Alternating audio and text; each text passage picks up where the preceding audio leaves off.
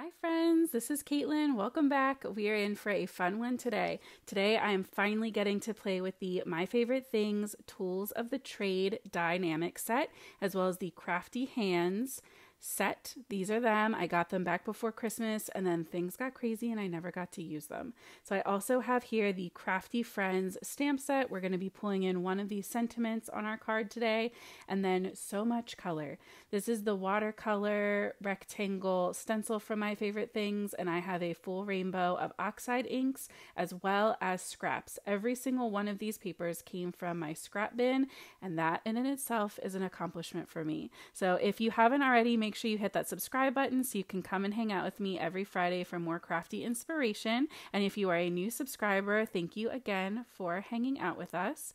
I'm going to be starting out by creating my ink blended background today, and I'm going to do a rainbow on a diagonal across this stencil. So I'm using the Wendy Vecchi Stay mm, Stay-tion. That's what it's called.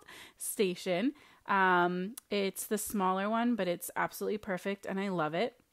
I went in with abandoned coral first, and now I'm going in with the spiced marmalade. Um, I decided to do oxide inks just because they blend so smoothly and they have that beautiful kind of creamy finish to them. The camera makes my blend look a little stronger than it was. All of my lines look a little bit more pronounced on the camera than they do in real life, but I'm still pretty happy with it, especially once we go in with all of our die cuts. It's going to be fine. Um, and to do my blending, because I am doing so many colors across this smaller space, I am using the mini blending brushes from Simon Says Stamp. These are my favorite just because of the color coordination and this is a set that I only use with my oxide inks. I have some of the smaller and larger ones set aside that I use with my um, distress inks and some of my other regular dye ink pads, but this little set is only for distress. Um, I haven't tried going back and forth with them, but I've heard through the grapevine that it is not great to do that.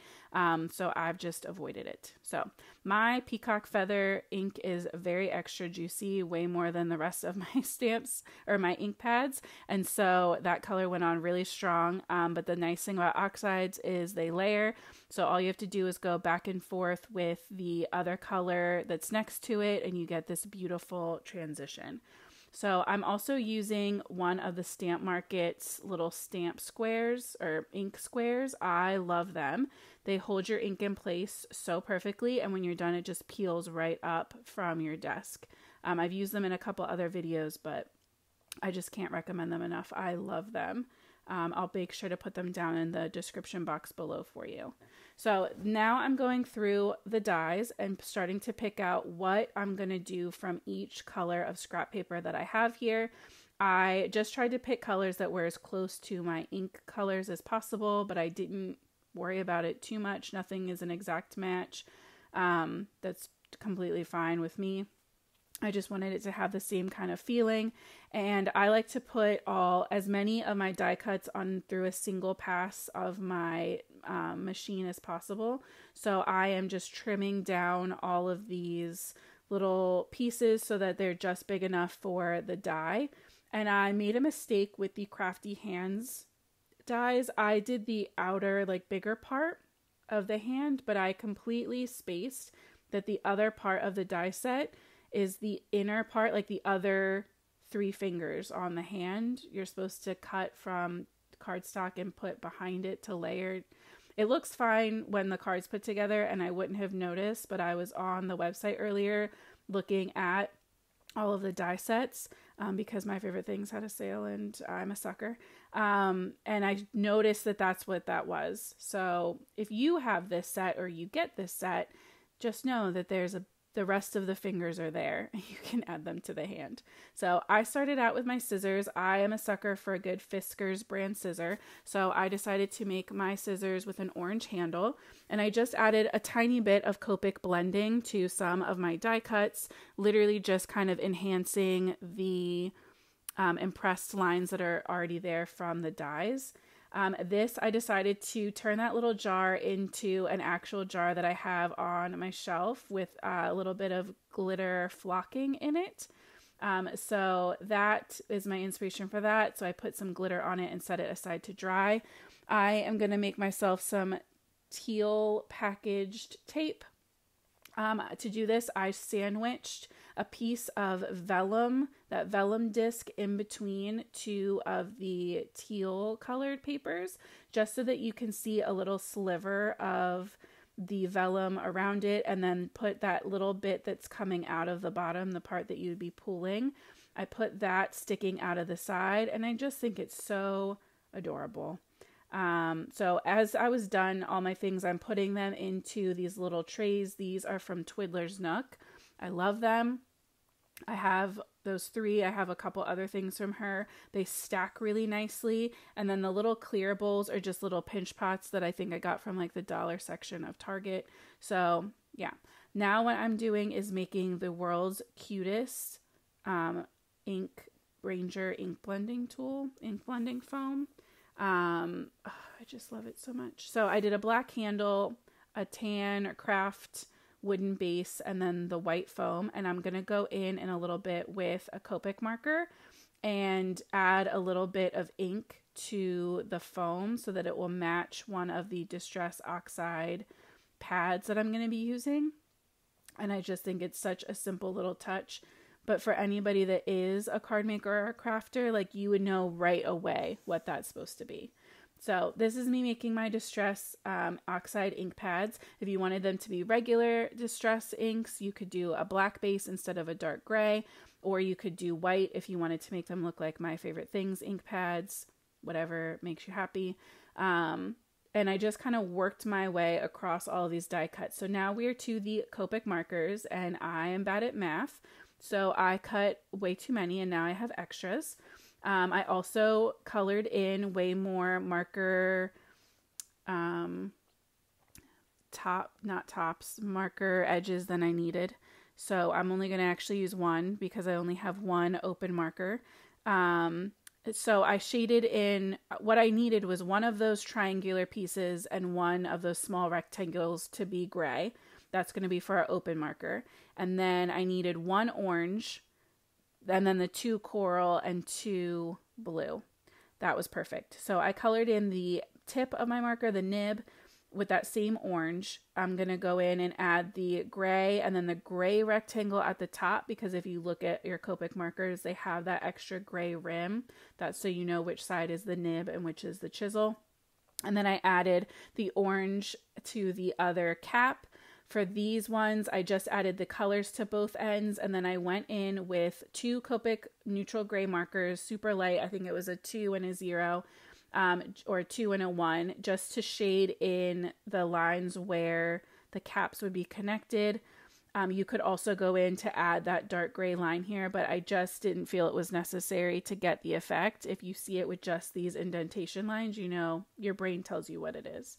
So I didn't want the hand to feel left out, so I went in with some E40 markers just to add a little bit of shading on the inside of the hand and the bottom, just kind of where the shadows would be the most intense. Um, kind of emphasizing that gap, the space, the webbing in between the thumb and the finger, and then that knuckle on the finger where our Copic marker is going to be held, as well as a little bit of a wrist crease. This is definitely not necessary. I just think it adds that little extra touch. And if this is definitely a card that you're going to give to a crafty friend or someone who loves your cards, they're the people that are going to appreciate those little touches. So I grabbed this beautiful subway tile um, or brick kind of uh, pattern paper, also from my favorite things. I'll show the pad here in just a second, I think. Um, I am so in love with this pattern paper. It's from the Finishes and Textiles pad. Maybe I don't show it. Um, it's from the Finishes and Textiles paper pad, and it's amazing because it has all kinds of stuff for kind of background scenes without you having to make your own background. I'm also using one of the Stitch Rectangle STAX dies, and because it's oxide ink that takes a little bit longer to dry, I did just put a piece of printer paper over the top before I ran it through my die cut machine, and that way my plate doesn't get ink all over it. So I wanted to pop up my rainbow against the um, pattern paper. So I'm going in with this giant sheet, this giant roll of thin foam tape. Um, just to give it some dimension without making it too crazy. I knew that I was going to be adhering my all of my die cuts flat onto the rainbow piece, so I just wanted to give it some other kind of dimension. Um, and I really like using this thin foam tape because it doesn't add a ton of bulk. So once I had that centered up, it's nice to get these straight on there because of those bricks. I just started playing around with my placement for all of my little die cuts. I knew I wanted my hand holding my Copic marker and I started kind of playing around with putting the colored items near where they were on my rainbow background and I quickly decided that was not going to work for me. So, this is really the fun part of using these kinds of dies. It's the playing and building your own scene that just made it so much fun for me. And I feel like there's no wrong answer. It's really just personal preference for where you like everything to go. So once I had a general layout that I liked and I thought, you know, the tape with the scissors made sense. I also have a little piece of vellum tape um, that's like pulled off of the roll and then one of the my favorite things cloudy stencil dies that i personally love. Um, i also cut that from vellum that's what's in that bottom left corner. And then i picked a sentiment that fit pretty well into that space and i tried to just keep my card as flat as possible and move it so that i wasn't disturbing my general layout too much and i just stamped this in some black ink and I just thought this sentiment was perfect. Thank you for loving my cards as much as I do because I don't have a ton of actual crafty friends that I like have their addresses and can send them cards. But I do have friends that love and support me and love my cards even though they are not card makers. And so this sentiment would work for them as well. So, to add a little bit of sparkle, I grabbed the Sparkle All the Way confetti from my cute little confetti cachet, my little holder that I got from, well, it's actually a big holder, my big holder that I got from This Calls for Confetti. Um, I love it. I will be sharing more information about it and, um, you know, some organizing updates that I've made to my little crafty space soon. So keep an eye out for that. Um, if you have questions on anything like that, leave me a comment below so I know what to make sure I cover. Um, and now I'm just going in with my glue. I got these tiny precision glue tip bottles from Michaels. It came in a pack of, I think, three or four. And I just transferred some of my Lawn Fawn glue into the tube, and it's been a game changer. So I put the glue on behind all of those little items on top of my vellum so that the glue doesn't show through the vellum. Um, I just thought that was a nice way to kind of conceal it and keep that illusion that it's just a stencil sitting there with all of these things piled on top. That precision tip was also perfect to get into all of these spaces where the hand is holding my Copic marker. And then I'm going to glue down the hand and the marker right in that lower right hand corner.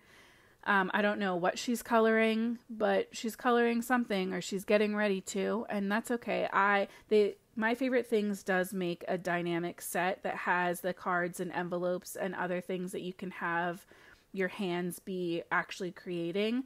Um, I did not spring for that yet. I just thought that I would get more use out of all of the crafty supplies and so um, it's on my list of one days, but in the meantime, I think this still 100% gets the point across um, without having to show the card that is being made. So I went and scattered some of those sparkle all the way confetti pieces. They're beautiful. They're just like a mirror clear silver finish. Um, and so they they add without distracting, I think. It gives a little pop without taking away from all of the beautiful colors um, that are going on in this piece. And I love the white on white with the background and that empty space around the stencil. And then I added a tiny little extra dot under the sequin on that vellum as well. And all that needs to be done after this is for it to be popped onto a card base. And you know that's not my strong suit if you've been here before. So for now, that is my project finish. Thank you so much for coming to hang out with me. I hope you're feeling super inspired to break out some dies or go check out one of the many My Favorite Things sales that are going on regularly. Thanks again for coming to hang out. I hope you have an amazing week. And as always, happy crafting.